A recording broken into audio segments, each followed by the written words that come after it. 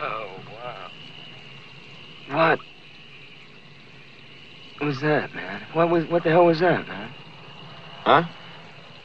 No, man, like hey man, wow, I was watching this object, man, like like the satellite that we saw the other night, right?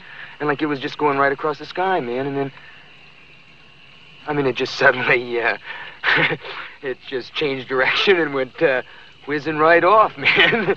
it flashed. You're stoned out of your mind, man. Oh yeah, man. Hey, like I'm stoned, you know, man. But like, you know, I saw a satellite, man, and it was going across the sky, and it flashed three times at me and zigzagged and whizzed off, man. And I saw it.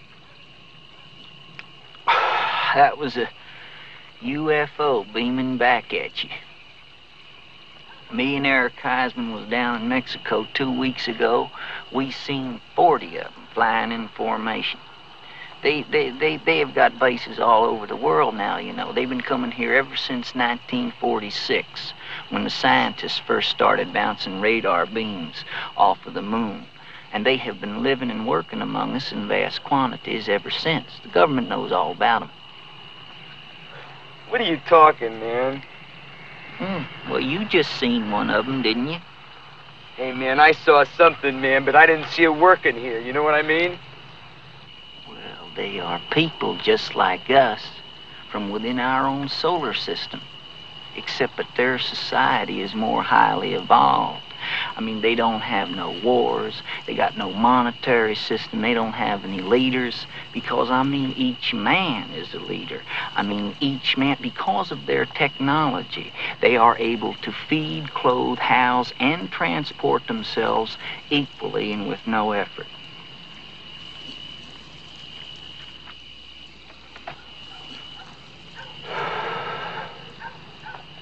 Wow. Well, you know something, man? I think, you wanna know what I think? I think this is a crackpot idea. That's what I think. How about that? How about a little of that? Think it's a crackpot idea. I mean, if they're so smart, why don't they just reveal themselves to us, huh, and get it over with? Why don't they reveal themselves to us is because if they did, it would cause a general panic.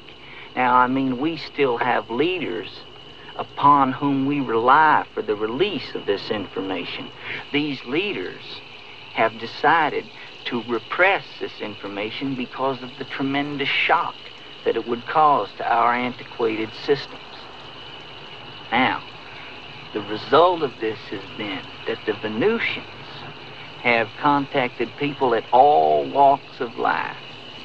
All walks of life. yes.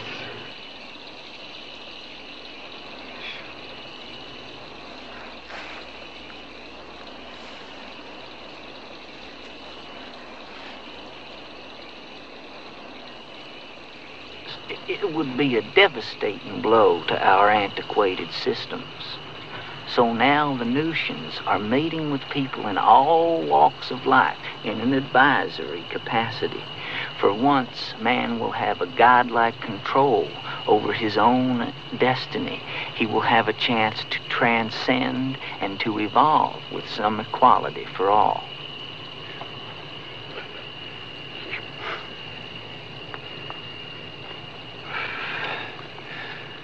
How's your joint, George?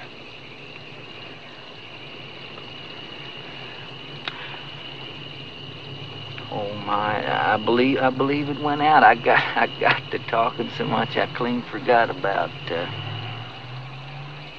went out.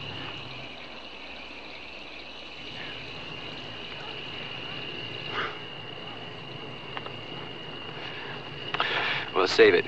We'll do it tomorrow morning, first thing, right? Gives you a whole new way of looking at the day. well, I sure could use that. yes, I sure could use a little of that.